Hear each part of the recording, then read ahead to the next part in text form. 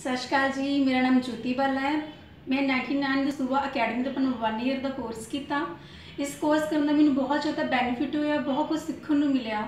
ਮੈਂ ਆਪਣਾ ਕੋਰਸ ਖਤਮ ਹੋਣ ਦੇ ਬਾਅਦ ਆਪਣੀ ਇੰਟਰਨਸ਼ਿਪ ਵੀ 99 ਸਲੂਨ ਤੋਂ ਹੀ ਲਈ ਸੀਗੀ। ਇਸ ਕੋਰਸ ਬਾਰੇ ਮੈਨੂੰ ਮੇਰੇ ਹਸਬੰਡ ਨੇ ਬੋਲਿਆ ਸੀ ਉੱਥੇ ਇਸ ਕੋਰਸ ਦੀ ਬਹੁਤ ਜ਼ਿਆਦਾ ਡਿਮਾਂਡ ਹੈ ਇਟਲੀ ਵਿੱਚ। ਉਹਨੇ ਮੈਨੂੰ ਕਿਹਾ ਸੀਗਾ ਇਹ ਕੋਰਸ ਕਰਕੇ ਇਟਲੀ ਆਉਣ ਵਾਸਤੇ। ਅੱਜ ਮੇਰਾ ਕੋਰਸ ਪੂਰਾ ਕੰਪਲੀਟ ਹੋ ਗਿਆ, ਮੈਨੂੰ ਮੇਰਾ ਵੀਜ਼ਾ ਵੀ ਇਟਲੀ ਦਾ ਮਿਲ ਚੁੱਕਿਆ। ਅੱਜ ਮੇਰੀ ਸ਼ਾਮ ਦੀ ਫਲਾਈਟ ਹੈ, ਮੈਂ ਇਟਲੀ ਜਾ ਰਹੀ ਹਾਂ। ਔਰ ਇੱਥੋਂ ਦਾ ਜਿਹੜਾ ਸਟਾਫ ਸੀਗਾ, ਬਹੁਤ ਜ਼ਿਆਦਾ ਵਧੀਆ ਸੀਗਾ। ਬਹੁਤ ਕੁਝ ਉਹਨਾਂ ਨੇ ਮੈਨੂੰ ਸਿਖਾਇਆ, ਬਹੁਤ ਕੁਝ ਸਿੱਖਣ ਨੂੰ ਮਿਲਿਆ। ਕਲਾਸਿਸ ਵੀ ਬਹੁਤ ਵਧੀਆ ਨੇ, ਪੜ੍ਹਾਉਣ ਦਾ ਵੇ ਵੀ ਬਹੁਤ ਵਧੀਆ।